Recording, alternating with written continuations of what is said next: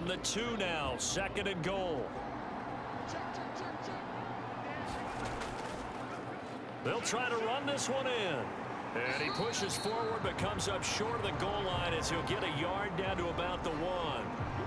Driven it down the field nicely here on the opening drive, and now it's put up or shut up. No doubt about it, because to make that type of a drive and ultimately kick a field goal would feel very disappointing. But I'm just wondering, is the head coach thinking, is this four down territory? Might he go for it?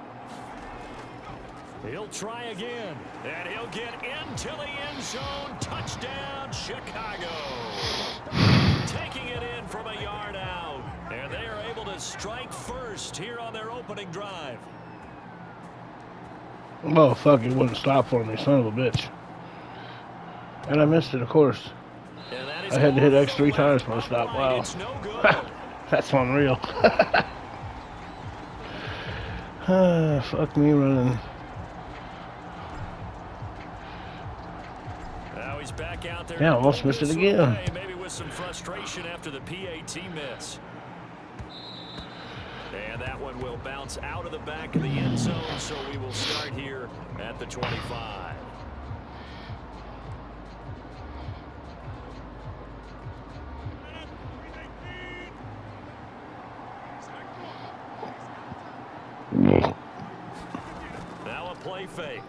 Rodgers. Oh, that's into a sea of bodies, and it's intercepted. Picked off by the Pro Bowl safety Kam Chancellor. What a start defensively. Uh, your offense goes out, gets the touchdown, and then you get the interception. Just perfect. How about the discipline that they showed on defense? Because after the offense scored to go up 7-zip, you would think they might be a little extra aggressive trying to get back at them. Instead, they read their keys well. When they took the shot downfield, they were more than prepared for that one. It's a six-yard pickup, and it gets them to second and four. They run with Thomas. And he'll get it down on the play to the 37. So many teams want to throw the ball in this situation nowadays, but I love watching a team that has enough confidence to go ahead and run the football in that situation. That's almost a tendency breaker. Oh, ah, shit, dude. Damn it, I wasn't trying to roll that far out game, but okay. Sweat in there to bury him for a loss of 11. Second and 21, a lot of ground to cover.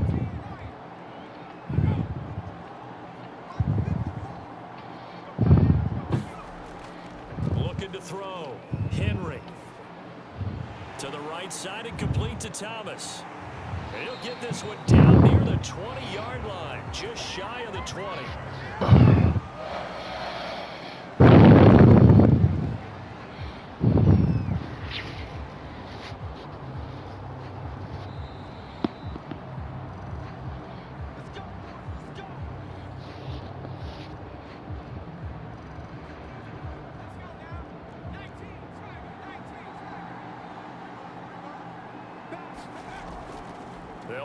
First down.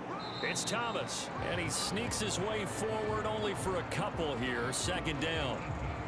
Now, that's a mountain of a man that just made that stop, isn't it? But he's more than that. This guy's nimble and quick. More than a space eater, he just made a great play there. Now a throw here to his running back. Touchdown! A great play there. He scored on the ground and through the air as the Bears push further out in front. CD for them. This has just been an offensive explosion here in the second quarter. Yeah, held scoreless in the first quarter. Now they find the end zone again here in the second. Sometimes you just have to have some patience. A lot of people think it's always an adjustment. You have to change what you're doing. Sometimes you just have to do your game plan just a little bit better. And I think that's part of what we're seeing here.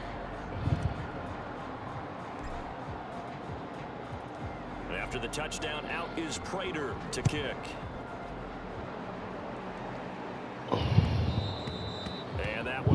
Bounce out of the back of the end zone, so we will start here at the 25.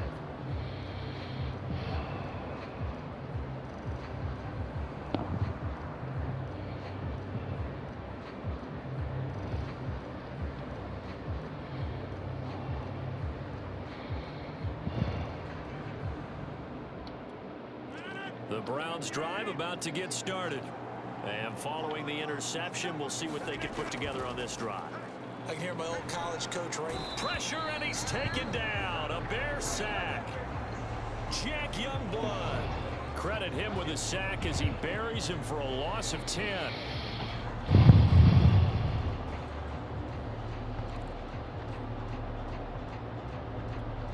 And the job becomes twice as difficult now. After the sack, it's second and 20. Rodgers now to throw. Look at that. There you go. A lot of force bearing down on him there. He could not hang on. It's third down. Well, as we get ready for third down, let's go back and recap here. The sack on the first play of this drive, that threw a wrench in what they were trying to accomplish because they were compelled to throw the ball on second down. A running play was not in the works. And oh, good play, good play, good play. Right behind me, good play. Down here on third and long. Some guys just simply have it, and Randy Moss is one of those guys. His big playability, once again on display right there. That's what he's known for. He averaged 15.6 yards per reception during his playing days. Highest career yards per catch average for any player with 900 or more receptions. And defensively, they're just looking to keep him contained as they're able to get him down. Now the Browns will use the first of their three timeouts as the clock will stop with 35 seconds to go in quarter number two.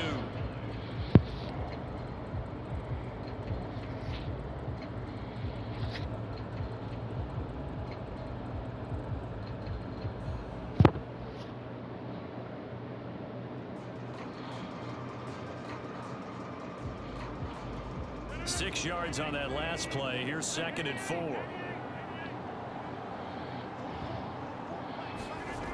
To throw is Rodgers. Lets it fly fuck, he got me deep. I don't know where my coverage was when I'm play over the top there, but okay.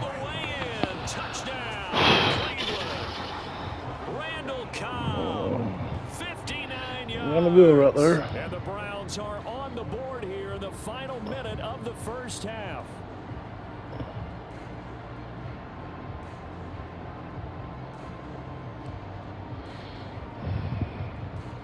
Kevin Stefanski going to leave the offense out to go for two.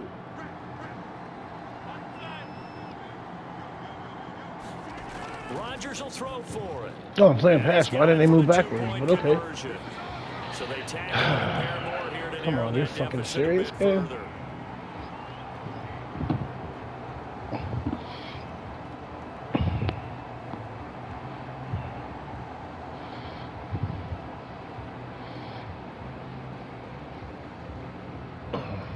The kickoff unit as they run up and send this one away.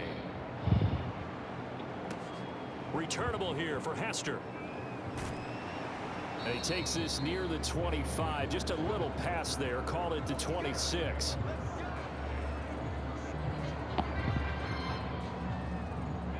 At the line, prepping for their next drive, the Bears offense. And with 25 seconds to go, we'll, we'll see how they want to play this first down. Henry. He'll get this one to Patrick. And they'll get it up just short of the 45 at the 44. Now the Bears going to call the first of their timeouts as they'll stop it with 17 seconds to go in this first half of action.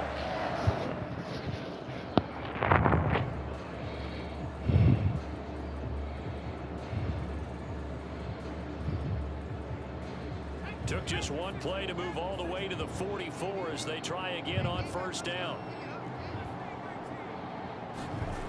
Back to throw. Henry drops it underneath to Thomas. And he gets this to the other side of midfield across the 45 before going out. So many times in my career I've heard coaches talk about completions are one thing. But as long as we're there at the catch and we get guys on the ground, we can live with that. But if you're going to give up 10, 12, 15 yards after the catch, then your defense is going to be in a lot of trouble. And they are into field goal range now as he's got the first down at the 26. And they'll burn the timeout with five seconds left. A chance to try to add three points before heading to the locker room. So even though it's first down, here's the field goal unit on now to try to get three before halftime. This a 43-yard attempt. And Prater's kick is on the money. It's good.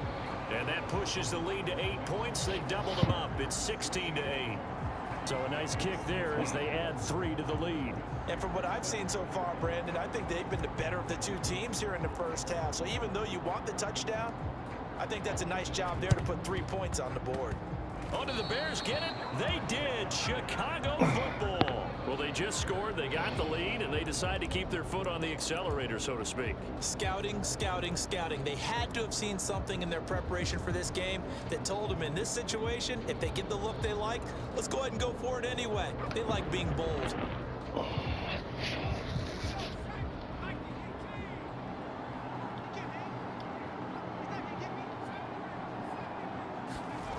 A final shot before break. Henry. And he'll get this into the hands of Hill, complete. And he's in for the touchdown. Let's go. Final play of the first half. The prayer is answered. How did they get that done? Well, that is certainly a deflator right there defensively. Their guys just came off of a touchdown drive. They're back in the game, and then bam, they give up a touchdown one play later. How about that? And the momentum, which seemingly had shifted the other direction, thought we might be seeing a comeback. that momentum right back the other way. Well, that is certainly not complimentary football that we saw right there. The defense is supposed to help their offense, not give up another touchdown. So two quarters down, two remain. Charles and I return after the break.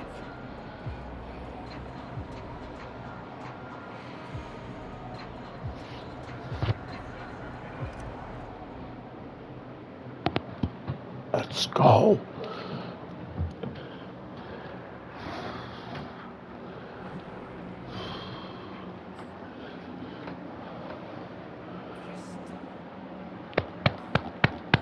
Boom, let's go.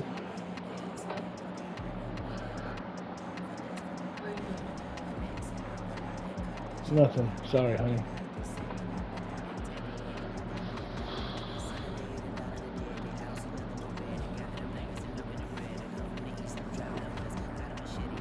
How you like that one, Jimmy? My biggest brother is about ready to play heads up. Fuck it.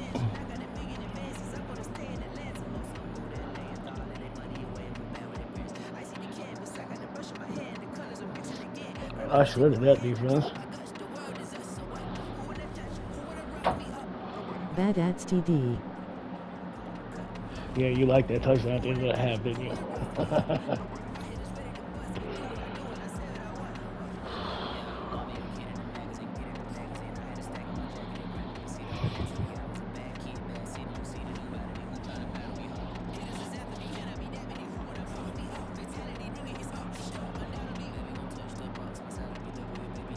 I just won two games in a row. How the fuck would I still need to win a head-to-head game? I won two in a fucking row.